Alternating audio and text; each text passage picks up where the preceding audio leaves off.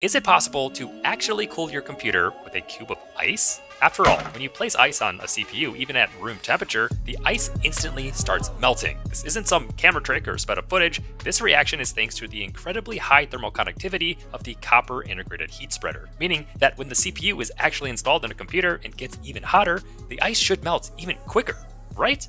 Well, it does indeed. And if you check out this top left line graph measuring the CPU temperature, the ice also cools down the computer as well. However, this introduces the first of many challenges we'll face in today's video.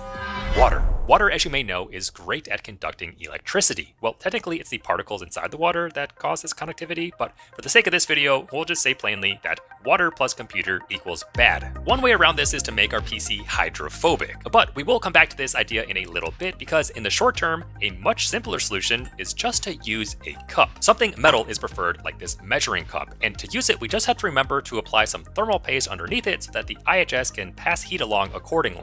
And alright, this actually is not an awful way to cool our CPU, all things considered. As you can see, the temps are visibly decreasing at the cost of, well, our ice melting. But at least this time, the melted water is contained in our cup. At this point, our main constraint is just how much ice we can put into the cup itself. But even if we add, you know, more ice into it, we'll eventually notice that the temperature of the CPU will rise once the majority of the ice has melted, regardless of how much we put in to begin with. So to solve this, I started envisioning an ice dispensing solution similar to a napkin holder that you might find at Costco. You know, one of those ones where you can pull out the one from the bottom, and then as soon as you do that, the next one's ready to go. Now, as a quick way to prototype this idea, I started out with a paper towel tube, cut it in half, and simply secured it to our metal cup with tape. I know, pretty high tech. But now I had a place to dump even more ice, with only the two cubes at the bottom of each side able to make contact with the metal. Now, due to the more limited surface area, the temps were initially a bit higher than just tossing in a couple cubes right into the cup, but this feels a bit more sustainable due to the cubes in the queue maintaining their coldness for a little bit longer. Obviously, cardboard is not the most ideal material to use with water due to, well,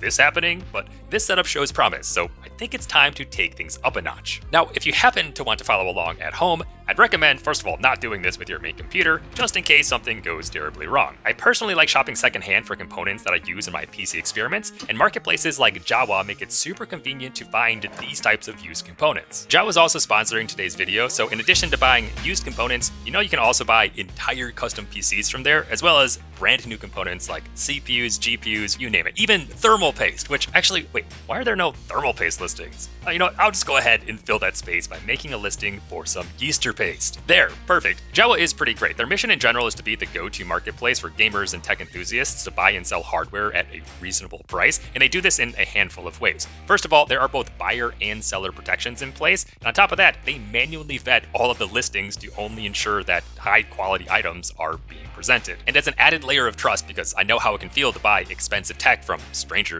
online, Jawa also vets sellers. So you can find these vetted sellers and have even more confidence in the transaction. Finally, Jawa is committed to actually being a community. They do have an active Discord server where you can go in and ask questions about all of this kind of stuff. All of that makes Jawa way more enticing than your typical secondhand market, especially for computer stuff. So the next time that you consider either buying an entire custom PC or putting one together yourself for, say, a tech tinkering project, make sure to consider Jawa. I'll leave a link down below for you to get started, and I will also leave a link to my thermal paste listing in case you want some of that as well. Okay, so now that our dispenser Q idea seems like it has teeth, I went out and grabbed a much larger vinyl tube for the next iteration. We're, we're getting rid of the cardboard tube. This time around, I want to contain all of the melted water within the tube itself. You'll see why in a little bit, but to do so, I ended up needing to use this epoxy compound to bind the two together hopefully creating a waterproof seal in the process. Now, I did consider using Flex Seal here like I have in the past when completely waterproofing an entire PC, but once the epoxy hardened, it did seem to do the trick. So now we can go ahead and fill up our much larger ice cube dispenser tube thing with even more ice than before.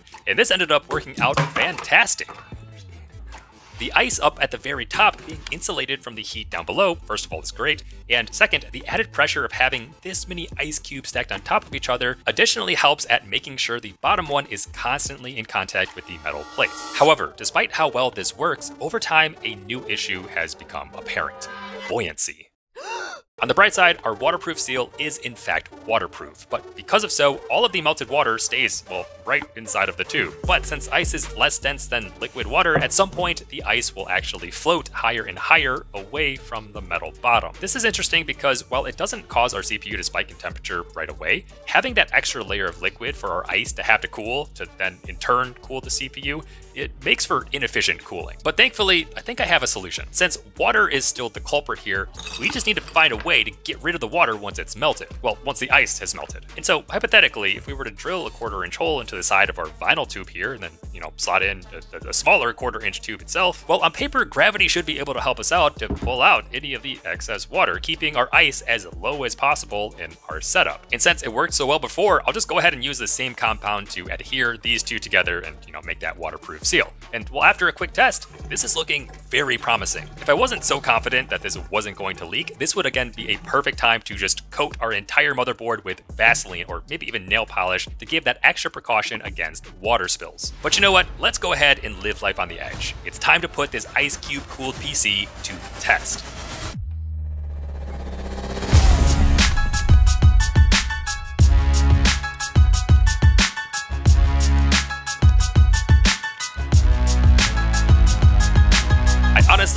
Expecting this to work so well, but as you can see, even after gaming on the integrated graphics of this, you know, poor Intel CPU, the temps stayed so reasonable, maxing out at what, 40 degrees Celsius after an entire gaming session? That's nuts. But, you know, okay, so the next question is how long do you think this will actually last? After 30 minutes or so, the ice has dropped from, you know, the very top to here. So by rough extrapolation, maybe we can assume that this will last between two and a half and five hours at consistent use.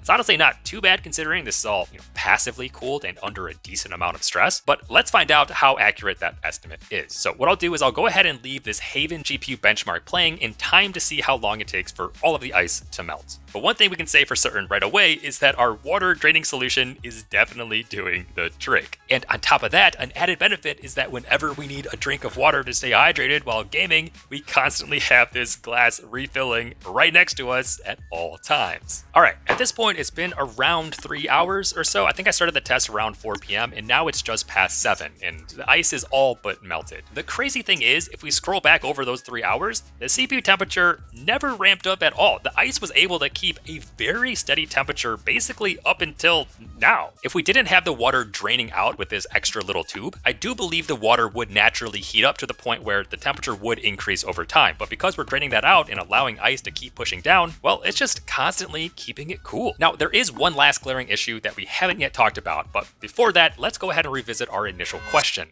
Can ice cubes actually cool a computer? And the answer is yes, absolutely. And honestly, without too much tinkering, you can pretty easily circumvent the main drawbacks of, well, using ice cubes to cool your computer. All it took was literally a measuring cup and a couple of tubes. But the next main question is, is this practical? The obvious answer is, well, no. With fans and AIOs existing, this just introduces a ton more work of refilling ice cubes every single time you want to use your computer. But I do actually find something pretty interesting about that drawback. Maybe it's just because it feels novel, but having a physical limitation to how much you can use an electronic is kind of cool. In a world where, at least in my life, more and more time is being spent online, current solutions to use electronics less are 1 willpower, which, let's be honest, is crazy hard, or two, usage based limitations, like an app timer or something like that. But now imagine being limited by how much ice was left inside of your computer, because once it's melted, your PC would overheat and eventually shut down. Again, not very practical, but I do think it's cool, even more so because visually you can see how much ice is left in your computer. It's almost like filling up your car with gas, but when you run out of it, you end up being more productive because you can go out in the real world and, you know, touch grass or something. like imagine telling your friend, oh, oh, I can only game for five more ice cubes and then I gotta get off, you know? Kind of cool. But okay, now the final issue with this setup that you might have noticed is orientation. Typically the motherboard of your computer is not horizontal. Most people have their MOBOs upright, which would certainly make this ice cooler implementation even more difficult. If only there was some other component that got super hot, needed to be actively cooled with a fan, and is typically in the horizontal orientation. If you're thinking what I'm thinking, the GPU might actually be a far better recipient of our ice cooler here than a CPU. After all, if we go ahead and open up this here graphics card, we can see that we do have full access to a processor here for our measuring cup to sit on top of, And honestly, there's even less constraints of the VRM or anything else getting in our way. Although this does lead to another orientation problem because GPUs typically orient their processor downwards. But technically, nothing is stopping us from installing our GPU as normal but then just, you know, flipping around our entire PC such that the GPU processor is fully exposed facing upwards. Now, let me know if you think we should continue experimenting with ice cooling our GPU, or if it's simply too ridiculous to keep tinkering with. Also, let me know in the comments down below if you would use an ice-cooled cooler in your computer at home. But anyway, that's all I have for you. So thanks again to Jawa for sponsoring today's video. Remember, you can check out tons of PC components and full custom computers at the link below. And with that, I'm Mr. Yeester your tech tinkerer, and I'll catch you in the next one.